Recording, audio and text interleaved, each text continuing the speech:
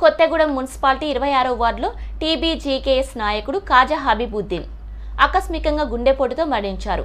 ఈ విషయం తెలుసుకుని హనుమాన్ బస్తీనందు వారి స్వగృహానికి వెళ్ళి పార్థివ దేహాన్ని సందర్శించి పూలమాలలు వేసి ఘనంగా నివాళులర్పించిన రాష్ట్ర టీఆర్ఎస్ పార్టీ నాయకులు వనమ రాఘవేందర్ ఈ రోజు కొత్తగూడెం మున్సిపాలిటీలో ఇరవై ఆరో వార్డు హనుమాన్ బస్తీ నివాసి టీబీజీకేఎస్ నాయకుడు కాజా హబీబుద్దీన్ గారు ఉదయం ఆకస్మికంగా గుండెపోటుతో మరణించారు.